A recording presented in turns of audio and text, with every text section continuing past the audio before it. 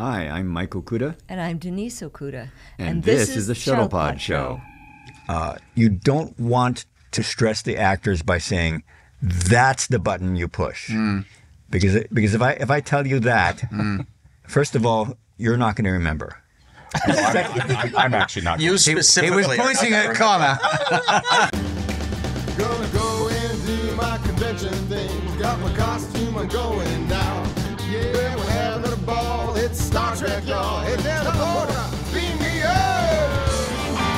Hi, everyone. Welcome to another episode of Shuttlepod Show. Today we have very special guests, Michael and Denise Okuda. We'll be answering your fan questions, doing some Star Trek trivia, finding ourselves on Connor's remote island, and much more. As always, our Patreon members get a full extended version of this episode. I'm Erica LaRose, but before we move on, we have a special message from Liz Klukowski. like, subscribe, and enjoy. I literally can't say the one. Like, subscribe, and join us on Patreon. It's too many words. When you look at me, you nail it. no. You gotta look at the camera. one more time. like, subscribe, and join us on Patreon. Thanks, Liz. Thanks, Liz. Did you And, shoot Andy? yeah. and now your hosts, Connor Trinneer and Dominic Keating. Hey, Hey, guys. How's it going? How's it going? How's We were here yesterday, so it's hard Yeah. to say how was your week. Yeah, yeah, How did you sleep? uh, yeah, not bad for me. You know, uh, it's always fitful. Yeah. Dodgers won for you. I, I, you know, I watched a couple of the innings and uh, they were four zip down, and uh, I thought, you know what? I'm going to watch three episodes of Star Trek, and I did. I watched uh, The Tin Man and uh, Best of Both Worlds one and two. Uh, ladies and gentlemen, boys and girls, Treks and Trekkers, uh, in our, well, now red thrones, we have what I consider titans of the technical industry um, in our profession. And if there's a Hall of Fame in Star Trek, um, I would say uh, next to Gene Roddenberry, it would be these 2 uh, with their impact on what uh, the franchise has been and what they've done for it. And uh, it's a thrill, and I mean a real thrill, to have Michael and Denise Okuda on our show today. Thank you so much for Thank you, guys. So, where do we start?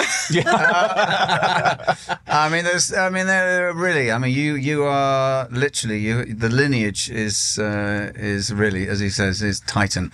Uh, how did you meet? Because Yeah. I know, I know, Mi- Mike, you, you were kind of, you were into this stuff. Were, were you into this stuff, Denise? You were as well, yeah. Oh yeah. Oh, you- absolutely. you- you- yeah. you're full oh, on, yeah. were you? Yeah. I'm, Yeah. I'm, I grew up with Star Trek. I Right. love Star Trek. Um, when I was five years old, I I looked at the stars and said I wanted to study those.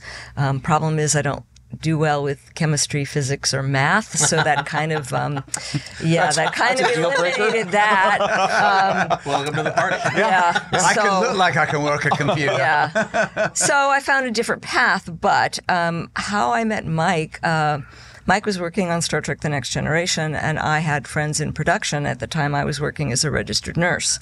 And because I um, knew Star Trek very well, and I also worked in the medical field, um, I was brought up to have a meeting with production designer Herman Zimmerman and illustrators Andy Probert and Rick Sternbach. Right. And we had a, a, um, a chat about what I saw in the future um, in sick bay and, and so forth and so on. And then they took me up to the art department and I met people up there. But I noticed one particular um, desk and bulletin board and I noticed a little maquette, a little puppet of a character by the name of Max Headroom.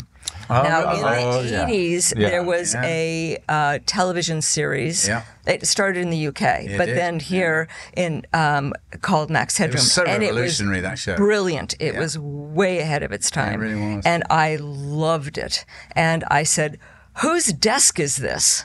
Right. That guy. And it was Mike's. so we like to say that Max Headroom introduced us. How did, Ah, I love that. how did Max Headroom get into your sphere then? Because I mean, th- we didn't have you know streaming or We had the Pepsi computers or- commercials. There was a show. There was a brief show that There didn't was- really there- make it. Well, there was that weekly television show, Yeah. and uh, uh, and uh, and it was all over MTV. So Right.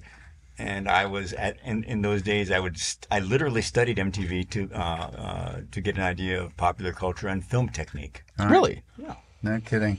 Wow. So, because you grew up in Tokyo, right? No, I grew. Uh, I was born in Tokyo. Born in Tokyo. Um, my uh, uh, my father was serving in the Air Force at the time, but I grew up in Hawaii. And you went to uh, you went to university in Hawaii too, didn't you? Uh, and you studied communications. Was that on Oahu at Manoa or? Yeah, I went to University of Hawaii at Manoa. Right, right, right. Uh, got got my degree there, and I did a lot of uh, community theater, a lot of uh, low budget television commercials, and then I got a job doing uh, uh, uh, graphics for a major medical center there. Right. Yeah, but So you had a, you had a penchant for the to be in the industry uh, even at a young age. You uh, you thought this was going to be a, a Yeah, part. but, but I was also, uh, as as Denise was, I was a space geek from a, a very young age, so that certainly drew me to Star Trek. I have read that you, you to this day you you know hands down the original series is your favourite and Very much, go to. Both of you? Hands down. Yeah, Well, uh, uh, Kirk did it first. well, the, the original. I found that whatever series you watch when you're a child it tends to Yeah. be Sure. your favorite. Yeah. Right. The Gateway Trek. Right. as the Gateway call it. Trek. Yeah. Yeah, exactly. You guys were my gateway track. Really? Enterprise. Yeah. yeah. There you go. You that gateway. That ages ages us. us, doesn't it? I'm glad I- But I'll take it. So, uh, um, you go to the art department. You see this desk Yes. with uh, Max Headroom, Right. and then what? And I started chatting with Michael, and then I realized, I, and little did I know that Herman Zimmerman, production designer, and his wife were trying to play matchmaker. I did not know this, um, but they were, and Mike and I just started chatting, and I invited him to my house to have you know, barbecue and so forth and so on. He was working seven days a week, and I'm going, that's nuts. Um, But you know what happened to me later? I'm working seven days a week, um, and just one thing led to another, and within six months we were engaged. How wonderful! Wow. That's really something. It really is. God bless Trek. It brings, you know, it's the stories are, you know, they go on and on. Uh, so uh, you started on the film Star Trek Four, didn't you? That, that was your first. And how did you get that job? What was that story? Um, Like I said, I was working corporate graphics and and uh, and community theater and very low budget television. right. But as a Star Trek fan, I watched, of course, all the original series, and I watched Star Trek: The Motion Picture. And if you look on the bridge of the Enterprise, there are these round computer screens. yeah, yeah, And yeah. if you look at all, He'll know. Yeah, if you look at all present computer screens, they're they're rectangular or square. Right. And it's appropriate because the graphics are rectangular based. Right. So to have a rectangular graphic on a round screen to me didn't make sense. So I said, what kind of graphic should go on that? So I did, I did a bunch of sketches and I, s- I sent it to uh, Gene Roddenberry's office. So I you pitched. Yeah, Yeah. I, I I sent it to Harve Bennett and a bunch of other people. And one day I get a phone call from Ralph Winter, who was associate producer on Star Trek 3, saying, uh, We like your stuff, um, but we're already staffed up on Star Trek 3. But if we ever do a Star Trek 4, I'll give you a, I'll give you a call. And you, you know the philosophy or the, the saying that you have to know someone in Hollywood. Yeah. Yeah. I knew nobody. I was I was the guy who sent in a resume and, and, and a portfolio. Right. Were you still? Uh, were you here in L.A.? or No, I was in Los I was in Hawaii. You were in Hawaii. Oh. So I thought, well, that's the nicest brush off you'll ever get. Yeah. and to my complete shock, two years later, uh, Ralph calls me again and says, "Hey, we're doing Star Trek Four. Uh, do you want to work on it?" And that's something. And of course, he didn't have to ask twice. Right. Right. That's how I also. I mean, that's my little story with. Uh, I met uh, Rick Berman and I guess the the gang for a uh, an episode of Voyager, and didn't. I thought I was going to get it. It, was, it went so swimmingly well and didn't, and I was like, "Ah, fucking. And two years later, yeah, my manager called and went, and it was, it was exactly, and they remembered me and brought me in, and it was bang. Suddenly, I was Malcolm Reed. Do you think they uh, they didn't cast you in Voyager because they? Precisely. No, Rick came when we were shooting Shuttlepod One. Uh, he was taking Sir Patrick around. It was shooting Nemesis Next Door on 17. He was so proud of this little episode that uh, was this two-hander in space, and he just told me then that you know I remembered you from all those from two years ago. I had your photograph on my desk all this time. I was like, wow, you Wow. just you never know, do you? Yeah. So, so you come on board. Uh, they like your graphics. You do Star Trek 4 and then do they is did they get you straight into Next Generation, the, the TV series, straight away? Well, what happened was, you know, uh, we, you wrapped Star Trek Four, and there was a cast and crew screening in Los Angeles, and I and I'm figuring Star Trek Four is my is my my big foray into Hollywood. That's uh, that's uh, I'm never going to work again in, in the industry, so I might as well enjoy it as much as I can. What made you think that then? I mean, Because at the end of every job, you think you're never going to get hired again. well, yeah, very true. we know that feeling. so and there- in some cases, well, you're here. Though. uh, you've done third. I mean, God knows. Anyway, yeah, no, carry on. So there was a there was a cast and crew screening at the Directors Guild, and um, uh, they had already announced Star Trek: uh, The Next Generation, and because I very rarely came to Los Angeles on the mainland, I, uh, when I came in, I had also called uh, Neil Arotis up at ILM, and I said, "Hey, you asked, you invited me to visit. Can, can I come by?" And he said, "Sure."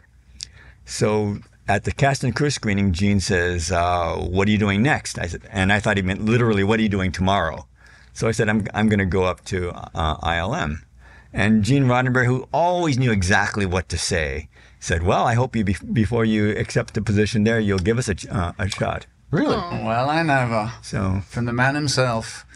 How was he? I mean, I love hearing people who met him, and uh, was he was just a gent, wasn't he?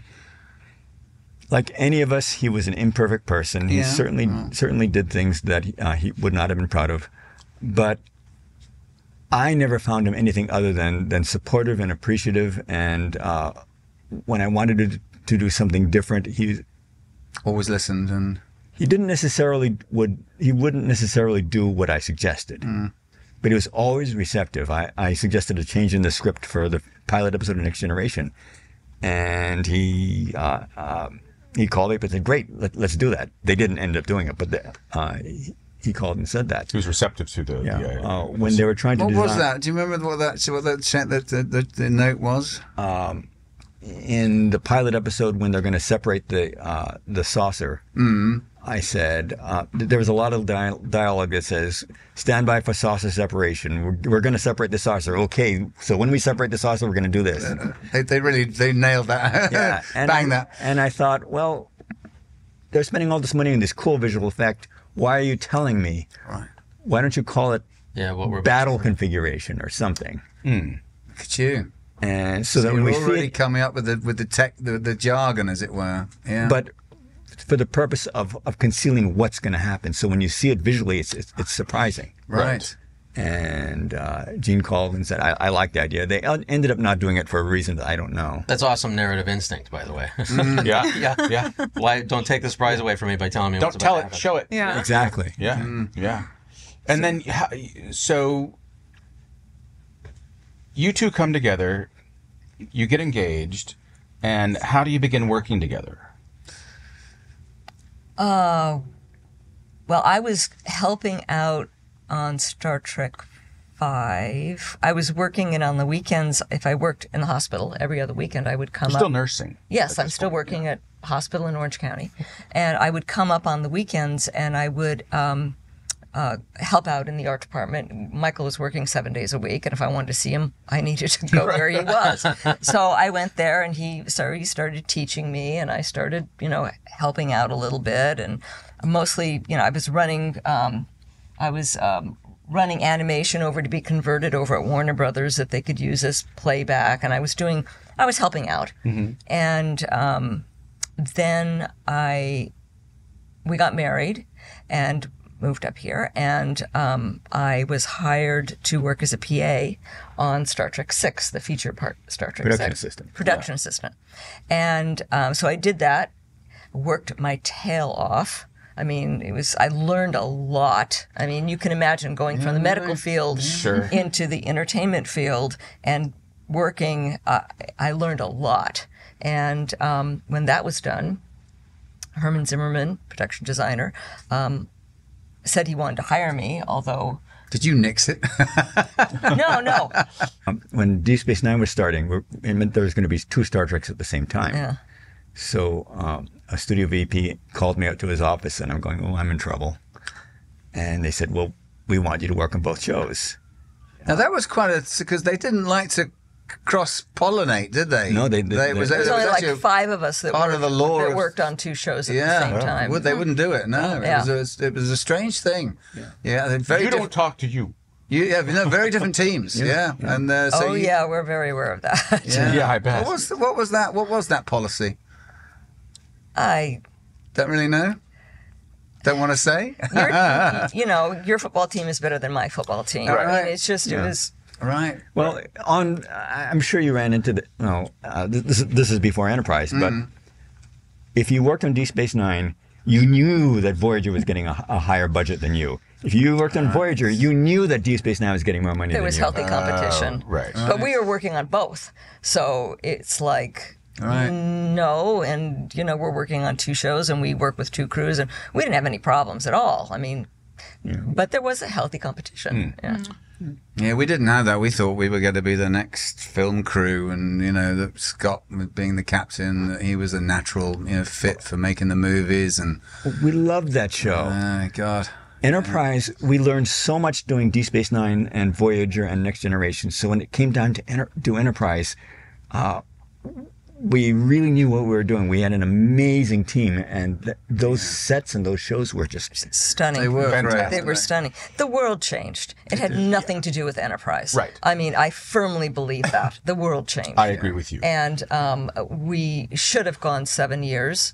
And um, we were quite frankly shocked that we didn't, as, Mm. you know, y'all probably were taken aback. I mean, we found out that we were canceled on the internet. so. Did Rick oversee Deep Space Nine in any respect? Was that was that? Yeah, he was. Was It he? was, it was it was his license plate on his Jaguar. yeah, Oh, was it? it DS9. DS9. Yeah. yeah, I don't. I don't Yeah. remember that. Yeah. Yeah, yeah. Um, so I was asked to uh, report to the office of a Paramount VP, and I'm going, oh my God, I'm in trouble. Is he wearing leather shoes? I he's was gonna going to fire say we heard that. Because Mary, Mary told the story about Brad showing up. He always wore tennis shoes. Yeah. But when Yes. someone was getting fired, he wore leather shoes Yeah. that day. Oh, you're that's that's terrifying. jeans. but the, but, but the, but the, brogues, the brogues came out. Oh, that He that, that I didn't think to notice. So you go out. So and and he says we're doing we're doing an, another Star Trek at the same time, and we want you to work on both. And he's uh, and he said, what would it take to get you to work on both? And I and I know he, what he expected me to say. I, I want a fat raise. Did you? I was going to say, did you push the piece of paper across the table? No, I, uh, uh, uh, Denise had worked on on Deep Space Nine as a production assistant, and I knew she I knew how much she enjoyed it. So I said, hire my wife. I worked as a production designer. A production What a on mensch. Star And it was yeah. There's not a lot of guys in Hollywood on- that would say that. You know that, Let- don't you? let- Let's go back. Uh, uh, Denise had worked as a as a production assistant on uh, Star Trek Six, and so I- uh, so she had the experience. And I said, "Well, hire my wife," and and I, and I knew that for good reason. This is against a lot of corporate policies. Yes, but- it's dangerous, isn't it? Yeah. I- I- and I and I and I get that. But to their considerable credit, the only question they asked was, "Can she do the job?" And I looked at them. I said, "Yes, she can mm. do the job because she, because she could. Right. She had the experience." All right. I was going to ask about. We've had a few people on who have begun their careers as a PA uh, on Star Trek. And what is it about being a PA on Star Trek? That there seems to be at least you're an example. Uh, Terry was an example. Mary is an example of you know what what is it in the process or what is it about the uh, community uh, of Star Trek that helps facilitate someone growing within that world. Yeah, I think that um, when you start as a PA, you have a golden opportunity to suck knowledge from everybody. And I think the community and the people in production were extremely generous with their time. Um, I, I think it was a, um, a nurturing environment. And you, I mean, and if you knew how to work hard, and it didn't matter if it was making the best cup of coffee, you know, at the beginning, just to keep people happy or doing and finding an employee that is responsible is golden. It really is. You, I mean, you have people out there that may know the job. But if you find somebody that has a good work ethic and is um, responsible, you know, hire that person. Keep 'em around. Yeah. Yeah. The best PA we ever had on Deep Space Nine was uh, Gene Roddenberry's son, Rod Roddenberry. God bless. Really? Yeah, Yeah, over the over the years, we had occasionally had uh, had reason to hire execu- children and officers and relatives of executives, and that's almost always I know where this is going. Yes. a lot of a lot of such kid. people have have a bit of an entitlement. yes. Where is he? Well, he's napping. Yes. Rod This is my Roddenberry, second cousin, of that. Iro. Rod Hero Roddenberry oh, made us a different flavor of coffee Rod every was amazing. every Oh, day. awesome. He he he declared Thursdays to be pizza month, and he would get on his bicycle and he'd go to little. And he would invite the Voyager art department people over to the DS9 art department, and we would have pizza together. we talked Romeo and yeah, we talked about we talked about friendly competition and Capulets and the and the Montagues. Yes, wasn't that bad, guys? Who doesn't like pizza? Well, Paris is dead. that was a thing, wasn't it? That was awful. Anyway, you could administer the injection. yeah, I could. Um, anyway, he was the best PA we ever had, and God um, bless. he was. He was. How great, old was he but- about then? In, those, in that, was he in his twenties? Well, we've known him since he was a baby, but um, Uh, he must have been in his twenties. yeah, Yeah. must have been. Yeah. It's, it's it's fabulous what he's done, uh, carrying the torch. Yeah. Uh, since his mum and dad gone, and he really has. It's because not you know, he didn't have to, and uh, and it, it's been really yeah. He's he's something else, Rod. We want to get him on the show soon. You're coming on the show soon, Rod. Um, We'll make the coffee. you're buying the pizza. That's good because it's not in our budget. so, uh, so the evolution of uh, you two as a team working together. You know, uh, we we know you as just you two showing up and explaining and well things I never understood. Um, but when when was the merging of, of your two talents uh, really did that come into focus?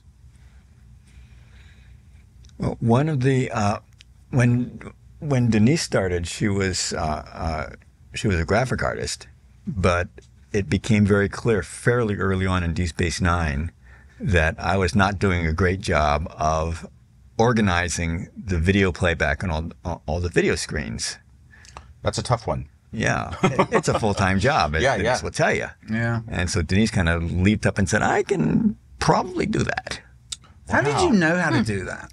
I'm very good at organizing, Right. and I use that in my medical profession and and I and just in life in general. I'm very good at organizing, and it sounded like fun.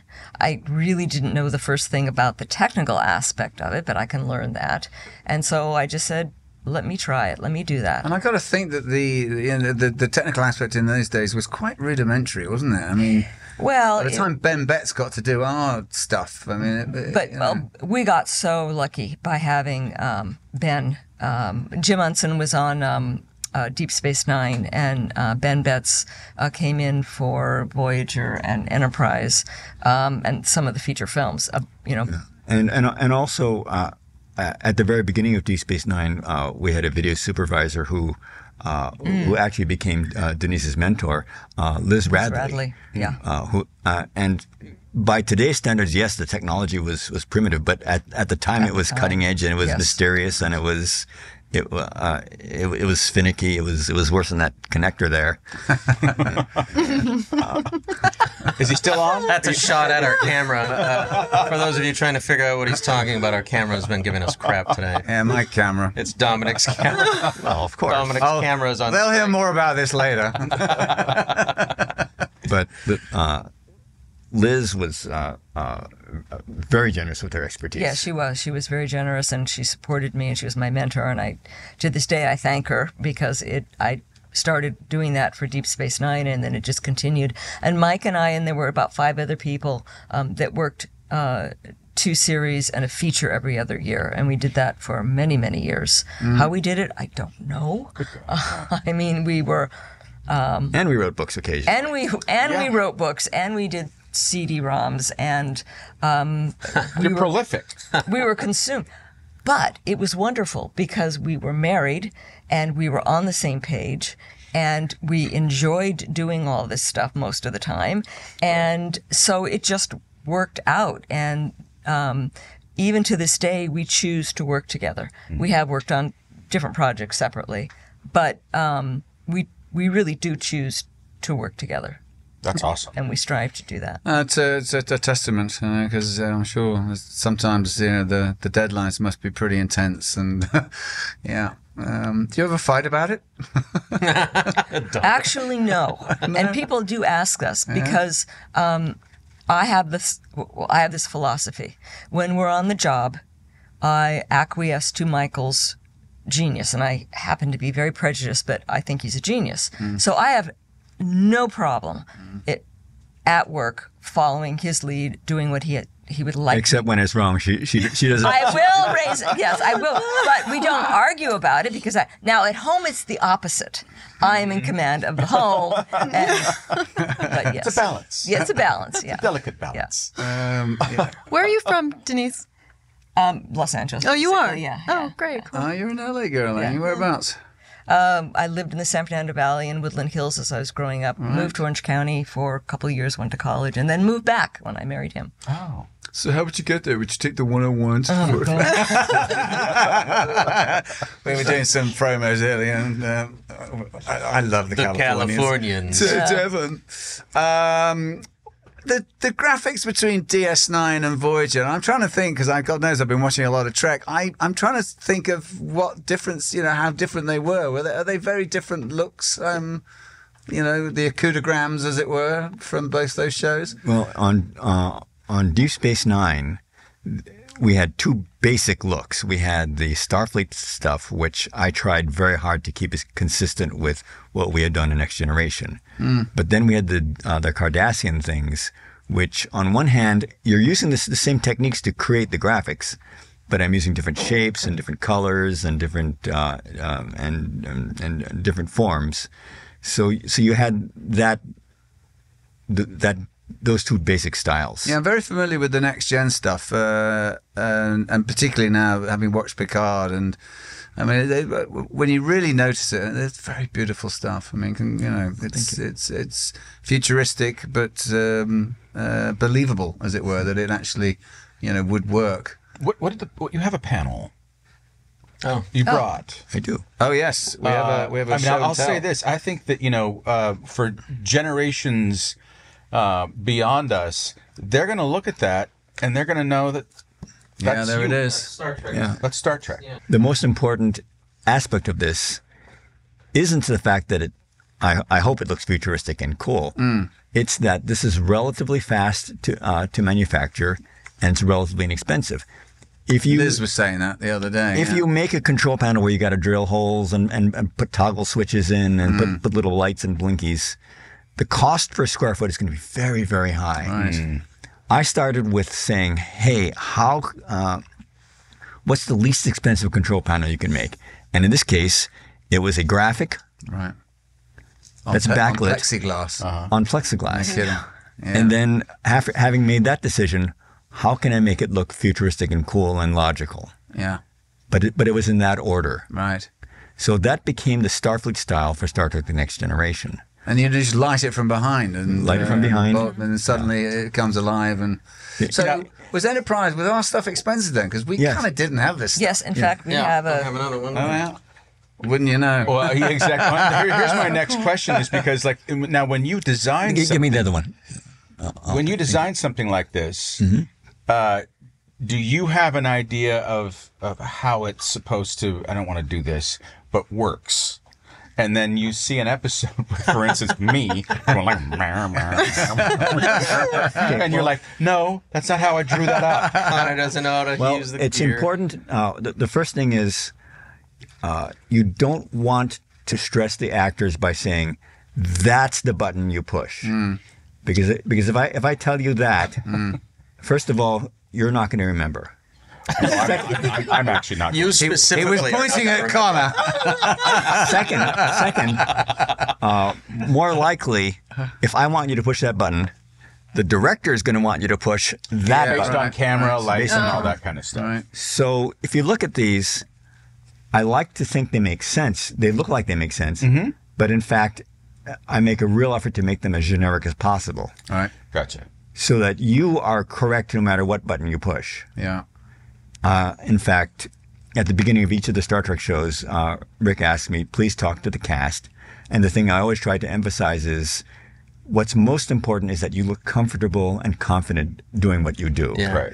I do remember starting out, uh, and this is part of my sort of you know nature and uh, a bit of OCD. I remember at my console thinking, well, this button's going to do the photon, this is going to do the, the this, and and then it all it, it just you know garbled my mind, and I was like, ah, as you say, and then I just it, it was like, well, I'm a secretary really, and I'm just It's the it's the it's the zen of it. There was no button. You were like Database entry. that no was my note to myself. There's no button. You were like, oh no. Is, uh, it- How, how, however, however, uh, what I didn't know is that Scott decided that the lower left-hand Mm-hmm. button on one particular panel was the on his intercom arm chair, on the on his I- captain I don't- chair. I don't know which one it Oh, was. It was something in his quarters because we got called down to set.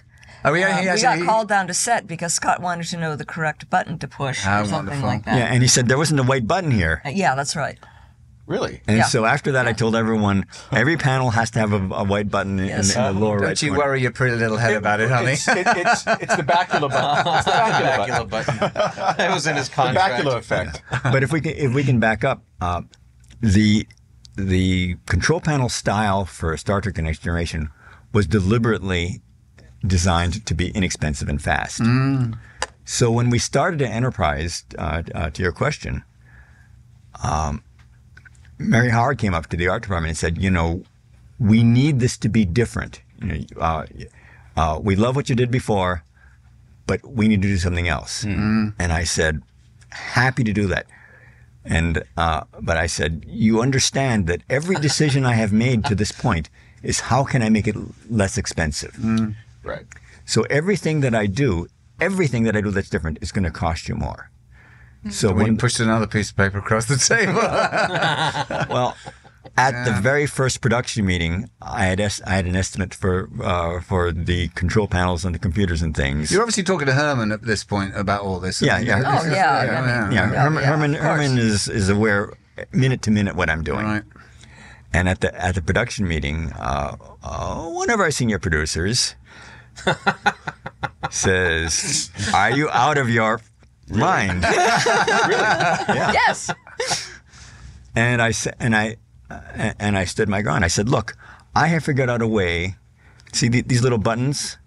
These are uh, these are actually 3M bump-ons that you, you put on the bottoms of things that, that you, you put on the table so that they don't scratch Oh, the so table. Oh, so don't scratch the table. Oh. And so these this is actually a very inexpensive way of making physical buttons. Look at you. Interesting. And so even though it was a lot more money than they were used to spending on Next Generation, it was way less expensive than it would be to buy all these switches. And uh, What's the difference in cost between uh, the next generation? Like three times, four times, something I mean, like that. Yeah. I, I, I don't I don't really know. Um, I remember you saying it was like three times more. something Yeah. like that. Yeah. That's why they had to make the ship smaller. Fewer buttons. right.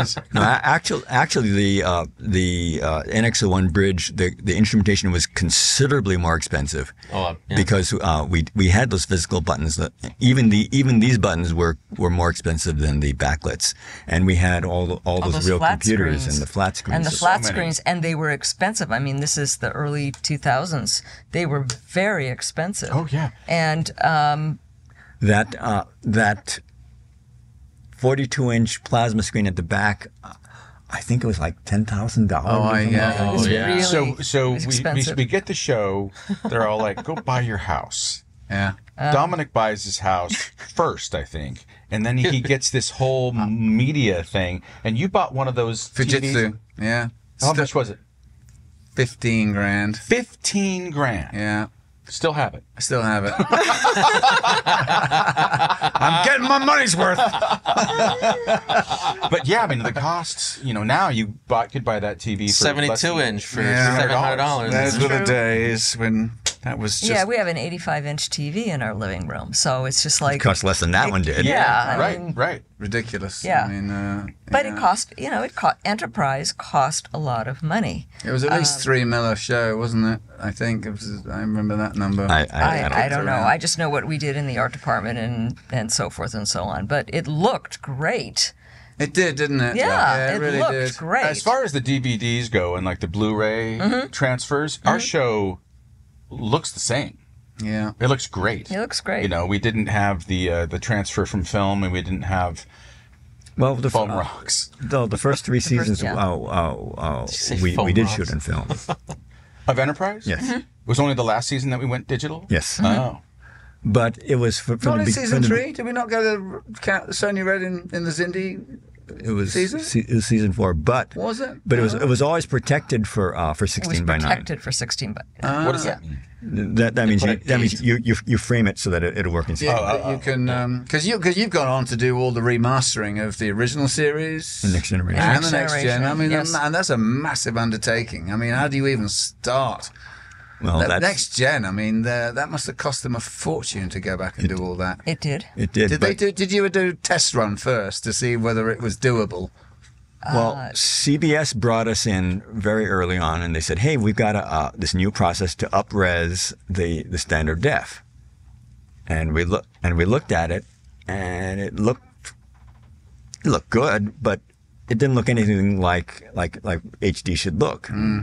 So we said, "If you want to do this, please, you know, we're, we won't we won't object, but you know, uh, You we- guys go have fun. We don't want to do this. Be a part of it. Yeah. and if you, you might, want, you might have burned your hand, your fingers. You mean? and we we knew we were We knew we were, and we've done that before. If if it's if it doesn't feel right, if we don't feel, um, we didn't want to do the remastered. Uh, we didn't want to do it. W- Why For next gen or would- original? Original. why would you right. touch perfection? right. Ah, I love you guys. And um, That's awesome. So we um, we said no, we don't have any interest in changing what they made back. I mean, yeah, some of the effects are don't stand the the test of time, Mm. but um, Part of its charm, though, isn't it? And but then I remember Michael and I had a conversation for I don't know 45 minutes about we we were saying if we were going to work on the project, this is what we would do. And then after we were done, the person said, "Well, either you know, either come on board or ju- or you know, or shut up." And so we decided Or to burn your notes. Yeah, Well, and- I we mean, decided to. Who better to do it than people who revere it and want to Mm. uh, keep it as close to what it was?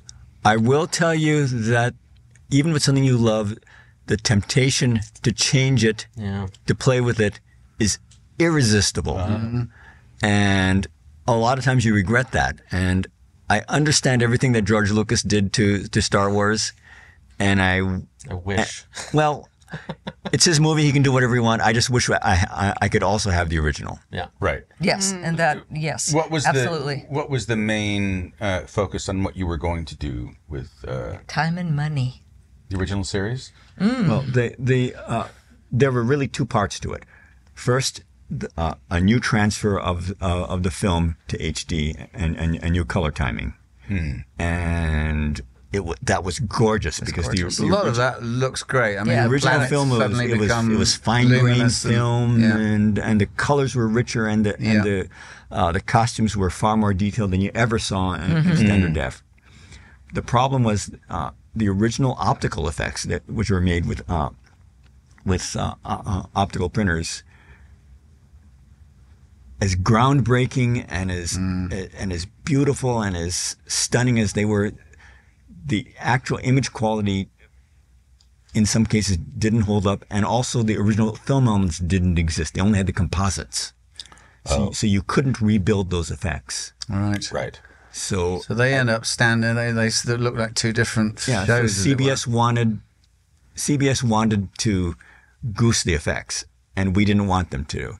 So we were there to try to put, put the brakes on it to say, well, let's do what they did originally, and and uh, you know, it was a, it was a compromise. Yeah, what a hard place to sit where you're you're trying to upgrade something while trying to retain the essence of what it was. And what Well, it we is. also were dealing with a lot of people that wanted to make it better, and we had to keep saying we need to stick with what what, what we saw, and we just need to replicate that. And um, when I said time and money, uh, uh, there wasn't enough of either, and so uh, there never is. But it was a challenging project. One of the uh, one of the most iconic images in the original Star Trek is from the first pilot. There's this castle with this huge moon in the sky. Uh, um, From the cage, from the cage. the cage, Uh, right, it's yeah. uh, Planet Rigel Seven, where he fights the giant. and uh, we had we had a brilliant matte artist at CBS Digital working on the remastered original series named Max Gabl. Uh, he's a great artist, and he said, "Well, look at the light. Look at the angle of the light on the moon, and look at the angle of the light on the castle. It's different. Uh, it's wrong. Can I fix it?" And I said, "I I don't know what that would look like. I don't think so. Uh, my inclination is we should just clean up the matte lines uh, and put a little bit of ripple on the water and walk away from it." And he said, Well, let me try this. So next week we come back, and he's done a great job of repainting it so that all the lighting is consistent. And suddenly, all the magic is sucked out of it. really, The original matte artist, Al, Al Whitlock, one of the great matte artists of uh, in film history, had selected tho- those wrong angles to make it look more dramatic on purpose. on purpose. yeah, Interesting. make it unnatural. Yeah. Right. It's amazing. So I said, so we, we went back to Al Whitlock's painting and just you know cleaned up a few of the technical issues. I mean, did they see that when they when you showed them, uh, or, or is it always a fight? I mean, did they go, "Oh, okay, yeah, we get that"? Well, we had, we had a lot of really good artists who had who had different opinions, and and and sometimes and sometimes they see something that, that we don't. Mm-hmm.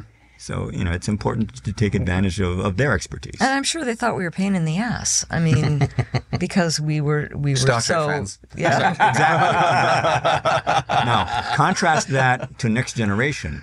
For Star Trek: The Next Generation, uh, Paramount had brilliantly archived and cataloged virtually every single film element of the entire series.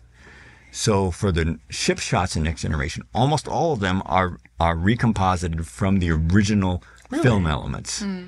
and that's why those effects can be so authentic to the originals. Hmm. And that- and that was the same team, CBS digital team, by the hmm. way. Right. How much research do you wind up doing in in in that element of the work where you're trying to grab the essence of what you're um, redoing? No. way too much. You got to you, you got to you got to rest- you got to study what was done, even even if you worked on it to, to begin with. even though even though we had watched it as entertainment, you know, you had to go back and look at it with another eye. So Enterprise D. So you, you Terry, uh, who came to you to, to come back on board and Uh, uh, uh, Dave Blass and Dave uh, Terry Blass. Matalas uh, said for season one or actually season two. right? Season two, I did a little bit of consulting for um, uh, for the art department. Was they had a new starship, the Stargazer, and they, Yes. they wanted to upgrade the uh, uh, the LCARS style. That's that was Todd's ship, right? The Yes. Stargazer. Yeah, right. Well, No, no, no, no, no, uh, no, no. oh, is that so- Jerry? Hang no, on. Captain. That's season two of Picard. That's, Okay. Uh, Yeah. Um, The Stargazer. Is that the one that the the the, the what's they? his face? The cigar smoking. Latin, yes. So they're the um, Latin captain. He's terrific. Oh, isn't he? what is his name? I forget, but forget it's his a lovely performance. So that's his ship. no, no, you're No, you're, you're, no, not you're the thinking of the, you're thinking the La Sirena. Yeah, that's the La Sirena. The Stargazer two from the first episode of Picard season two was uh, him. Because he had his little ship in season one, and then he had We the believe Stargazer you. in season two. Yeah. so they approached you to come in and and um, you know do some graphics and stuff for that. Well, Dave Blass, production designer for Star Trek Picard seasons two and three, um, he approached me and said, "Would I work on uh, uh, on graphics for uh, uh, for Picard season two because they have a new ship, the Stargazer?" Mm-hmm. And I said, "I'd love to, but Denise and I are already committed to working on it for all mankind, so I'll." I'll I'll work for a few weeks, but I'll, and and I'll try to point you in, in the right direction. And um, uh, Dave ended up hiring uh, uh, Jeff Mandel, a very fine graphic artist, and and they had some uh, some great graphic designers from. I'm, I'm, I'm blanking on the company name, but it's uh, Andrew Jarvis and, and, and those people okay. and they uh, they did a great job. Media. Twisted Media. Ah. They, they they did a great job. Uh, fast forward to at the end of the season of uh, of For All Mankind. I don't know how he knew it, but uh, literally the, day- the day after we wrapped, uh, uh, Blass contacted contacted me again and said, "Would you consider working on three? Because Terry Matalas is quoted as saying it's not a Star Trek uh, enterprise show unless the Okudas are working on this. So you know, high praise. Yeah, it was It, it- Terry's wonderful, and of course we knew him when he was a, a PA Yeah. Yeah. back on Voyager, and he and he was. Lord he knows was I wished great. I'd been nicer to him. That'll learn you. I'll teach ya.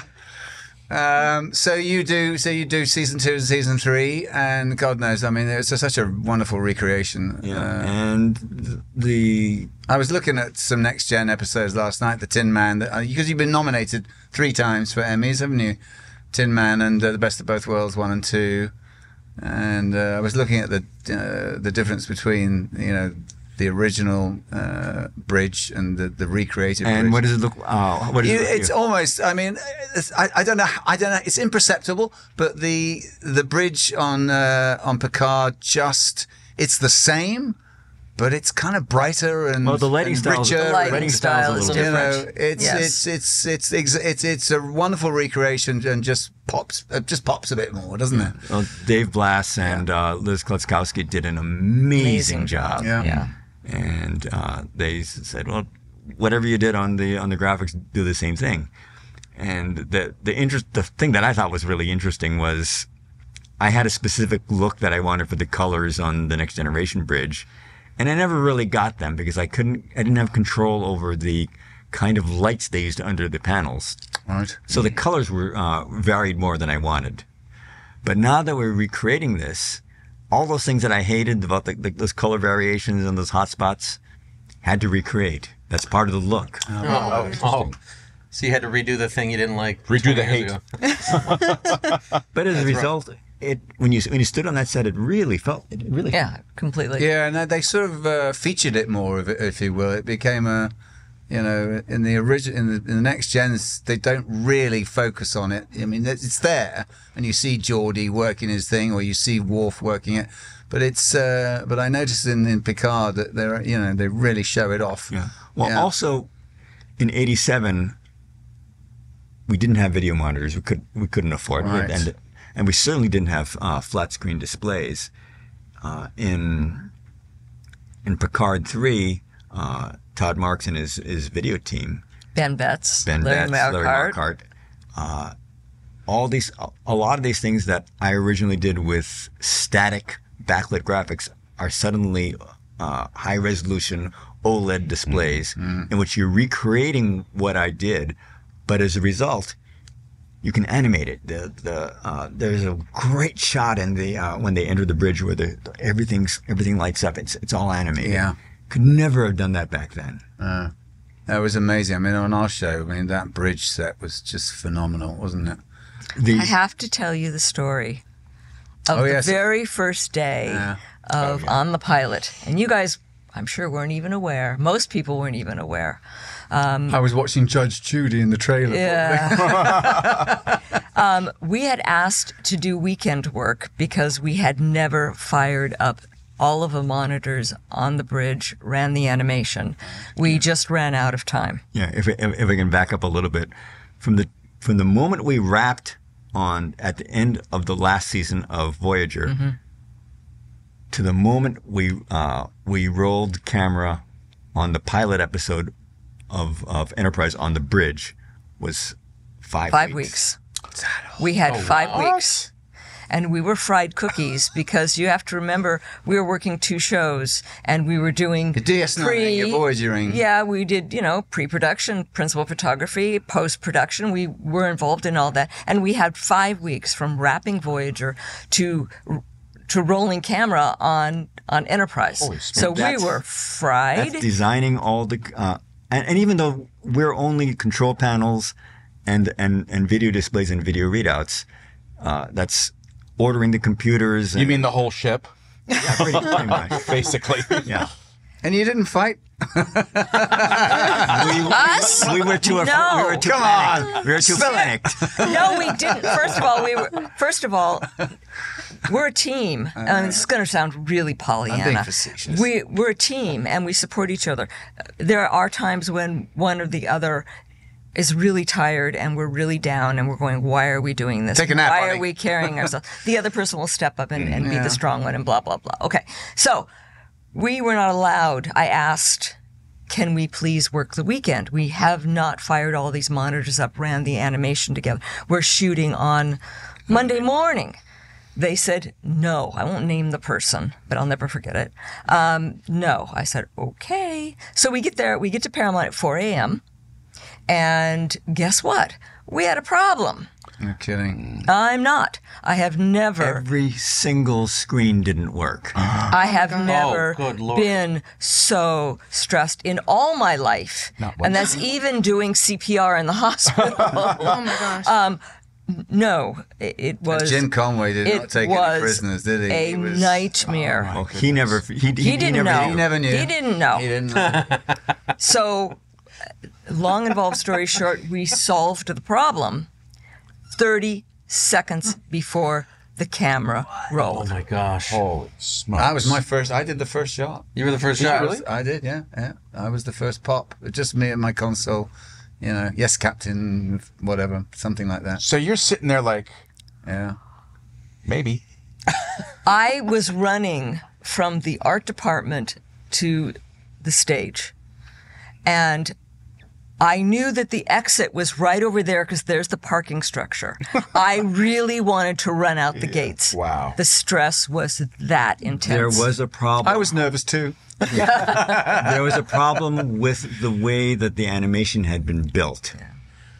All of the animation loops, Meaning, uh, meaning that uh, uh, most of the animation on the bridge in that scene were what we call wallpaper, loops. Wallpaper. That, that's the same thing over and over Right. again. And so it would play th- through the loop and then it'd stop. Right. and you can't film like that. no. So No, and Rick Berman. I, he I, had I, a- he I had a- can feel my blood pressure going up an eye for all that sort of these years later. later, thinking about this. It Yeah, was that- something else. But Denise was the one who figured out what the technical issue with the, with the way that the, uh, the, the coding was written, and she, and she just she and I think she, I think she roped somebody else into it. They, they were just opening up and resaving all the files. oh my God. I mean, was Ben Betts just pulling his fingernails out in that room at the back there. Oh yeah, He- yeah. he Ben, must have ben, been going Ben- like- We Ben were, was, uh, we, oh, yeah, it was, it was and then horrible. we ran the discs down down, and Ben loaded them up. And thank God we had been seconds there. God, it's before like the broadcast camera. news. We're like, oh, take the tape. Yeah, we want to run the tape under the file Anyway, I, I was that. pretty sure you guys weren't aware of that because nobody was. Uh, almost no one was aware. And that's how we started Enterprise. Wow. Wow. So I got a question. What We were screwed from day one, really. No, we were saved from day one. We pulled it off. We, So The you ship know, launched without a hitch. yeah. Enterprise ends, and then there's a gap in Star Trek storytelling for at least a couple of years, isn't there? It's like a decade. Four years. Oh, quite a bit. Uh, Yeah, yeah. Did you both panic and like, well, what are we gonna do? What did you do? we kind of expect we never expected Star Trek to last as long as it did. We always uh, planned, okay, if Star Trek ends this year, you know, make we make sure we have saved, we have money saved. We make sure that our expenses are low, because as you know, the film industry is is so unpredictable. You- Fickle. fickle is at the best. word. Mm. So it was lean for a while, but it was okay. And we went. I mean, we did the Christie's auction, and that, Yes, we, right. Yeah, we did the come to Christie. We did the Christie's auction, and How we were soon after that was it? like they did weeks. couple- it was weeks, after they. Well, we did a cleared out, pilot. didn't we did a pilot. We did Threshold. Yeah. So We did a pilot. Brannon show. Yeah. Yes. Yes, Yeah. we Yeah. did. While while Enterprise was wrapping up before, we did Threshold. We did Yeah. the pilot. Yeah. No. The uh, Christie's was the following year, so it was I don't remember. uh, something like that. Yeah, at all. But So you wrote all the little garb for all the pieces. I mean, how many how many pieces did they? I mean, it was There was a thousand, thousands. thousand lots. It didn't mean a thousand pieces. A lot could be, uh, you know, twenty objects. Did you know what each piece was? I mean, or did, how did you? I mean, how, we had uh, i mean we, we certainly knew some of the things Right.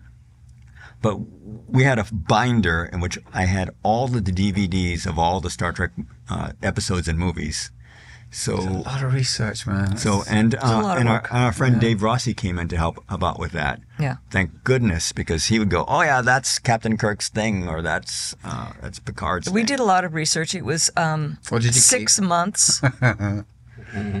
six months. six months of um, working in un uh, air conditioned, uh, no environmental protections in any of these Was that in five that warehouse? warehouses. Yeah, yeah. Five warehouses. Five warehouses. So in the summertime, it would They reach were on the lot. and, Were they on the lot or were they No. out in the valley? uh, Sylmar, Selma. Downey, They, they were all over. all the over place. the place. And there was a lot of stuff. There were set pieces, but then there was just, you know, crates of shoes. And and there would there would be uh, large crates of, of of rocks. Yeah, I mean, there was so much stuff. And we had to go through, we were told, Did they sell those rocks? I don't No, they, know. they uh, what what motivated us was we loved all the stuff, and maybe not the rocks, but we Yeah. we, we loved the stuff. But the original plan was whatever Christie's didn't sell was going to get shredded. Shredded. It was going to get shredded. Destroyed. So we were on a mission to save as much as we could because we knew that if we got these articles into the hands of the fans, that they would protect it. Yeah, good And so homes. we were on a mission, and um, it was quite an good for you. experience. You two made the catalogs, right? For Yeah, the we, auction? we designed the catalogs. Yeah. The, wrote the text for the catalog. Yeah. it was probably the fastest book we've ever. Ever. I was going to say. That's probably had a deadline. That's great. That's great. Sounds good. Because you've done the, ency- the encyclopedia and you've done four editions of that, correct?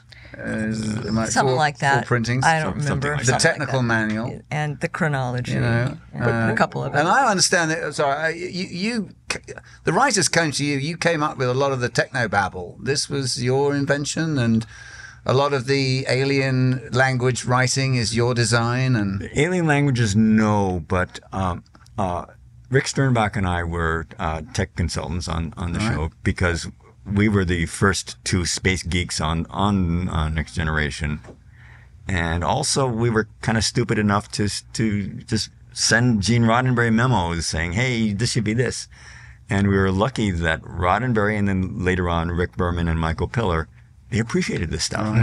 You know, you would think I mean, it, it, in retrospect, it was kind of stupid of us because to, to tell the executive producers, here's here's how you should write your show. Right. But uh, what always amazed me, and certainly on Enterprise, was that a lot of that techno babble actually, when you broke it down, it made, it made sense.